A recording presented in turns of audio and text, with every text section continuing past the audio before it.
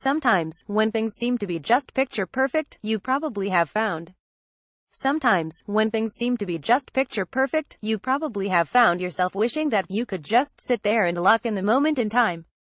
Once on top of the world, you might have dreamt that you could keep that feeling around forever and sometimes, it might even really feel like things are going to last forever. However, as we have all grown to understand, nothing in this world lasts forever and seeing it pass us by can be truly humbling, to say the least, as it makes its way toward being nothing more than a memory and a legacy. Watching the rise of the Earnhardt family to NASCAR supremacy was definitely an honor for those who can say that they were able to witness it.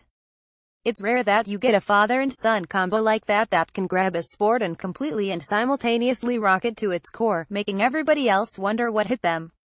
For those who watched the senior and junior Onetpo punch, that's what they got to see and, love them or hate them, the top of the hill is where they would remain. However, you all know how the story is written from there as one thing after another would pile on top of the Earnhardt legacy and we would eventually spin the wheel all the way until the year 2017 when the threat of the Earnhardt last name never gracing a NASCAR race ever again would soon rise. As the news broke months ago, we all now know that this will be Dale Earnhardt Jr.'s last year of trips around NASCAR circuits. As the season comes to a close, it just so happens that Sunday will mark his last ever start as a NASCAR driver.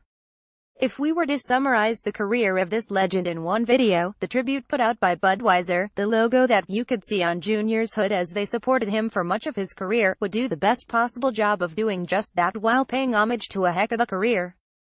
If you follow along in the video below, you'll feel all the nostalgia creep up as it goes through the ups and downs of the legacy that is the Earnhardt family.